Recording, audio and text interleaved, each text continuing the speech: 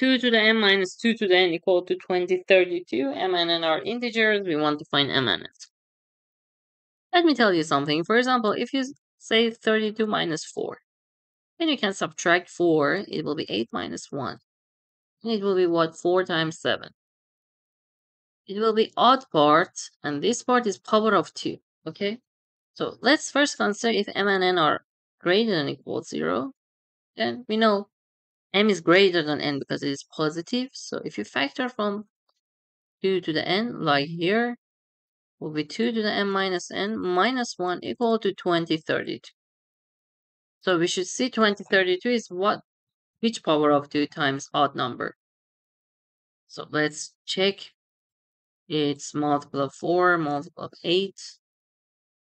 8 times, let's erase this part.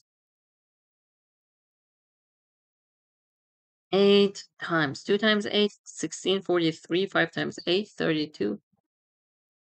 64 is multiple of 2, so 8 times 2 times 1, 2, 7.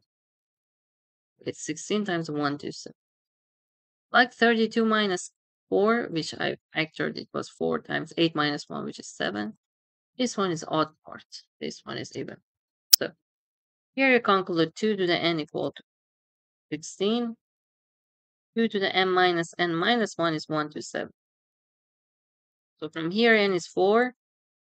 From here, if you add by 1 to the n minus n is 1 to 8, which is 2 to the 7. So n minus n is 7. And if you replace n with 4, n minus 4 is 7. m is 11.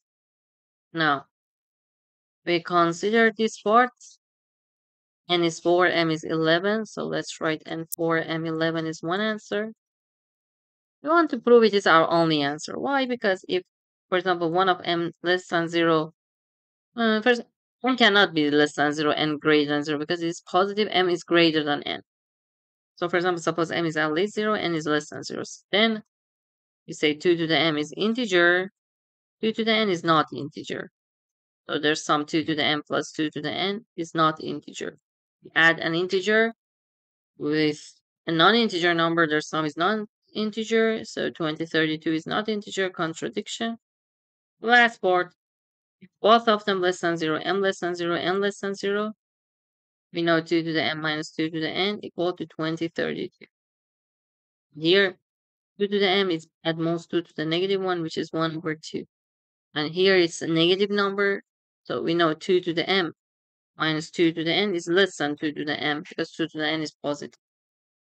And it will be at most 1 over 2, but we know it's 2032. 2032 is less than or equal to 1 over 2, which is contradiction.